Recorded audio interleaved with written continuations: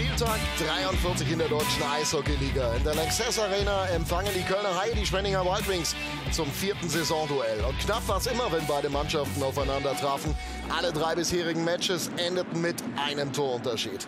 Peter Dreiseitel und seine Jungs, die wollten nach dem guten Auftritt in Augsburg den zweiten Erfolg, waren von Beginn an die bessere Mannschaft, kamen unglaublich gut in Tritt. Dann diese Szene. Seressen, Hospit, dann ist die Scheibe drin. 150 Sekunden nur gespielt. Von der blauen Linie der Schuss, aber gar nicht in Richtung Tor, sondern bewusst zu Kai Hospelt. Der fälscht die Scheibe ab. Das den Strahlmeier zum ersten Mal an diesem Hockeyabend geschlagen. Und die Kölner Haie legen nach, arbeiten gut vor dem Kast und haben mit Bolduc diese Gelegenheit. Diesmal aber Strahlmeier sicher und das gleich im Doppelpack dank seines guten Positionsspiels. Ans Ende des ersten Drittels geht's. Köln wieder mit Druck und die Scheibe drin. Ryan Jones.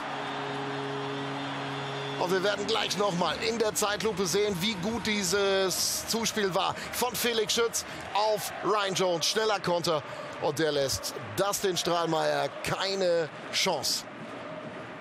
Toller Angriff der Haie, genutzt nach einem ganz starken ersten Drittel. Pat Cortina wusste, seine Mannschaft, die wird sich steigern müssen. Und sie tat das auch im Mittelabschnitt. Lief mehr Schlittschuh, war aggressiver, tat alles, um besser ins Spiel zu kommen. Erzwang den Scheibenverlust der Haie und dann ist Giatti da. 28. Minute, Anschlusstreffer. 1 zu 2. Aussicht der Wild Wings.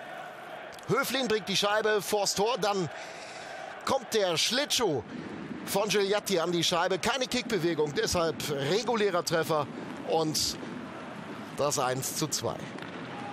Schwenningen aber bleibt dran und hätte durch Pokula fast sogar den Ausgleich gemacht. Aber Sean Lalonde, der wirft sich genau in der richtigen Sekunde aufs Eis, stoppt die Scheibe. Dann nochmal Gigliatti mit dem Nachschuss, der aber ungenutzt verstreicht. Aber auch die Kölner, die hatten kurz vor Schluss nochmal eine Gelegenheit. In der Rückwärtsbewegung, das den Strahlmeier.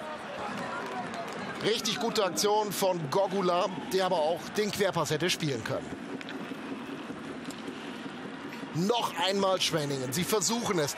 Sie wollen den Ausgleich. Schuss aus der zweiten Reihe. Aber Wesslau mit aller Erfahrung stoppt die Scheibe.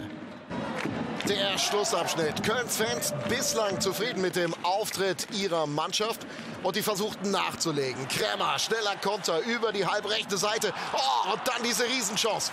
Strahlmeier geschlagen, aber der Pfosten, der rettet für die Schwenninger Wildwings. Das Team aus dem Schwarzwald bleibt im Spiel.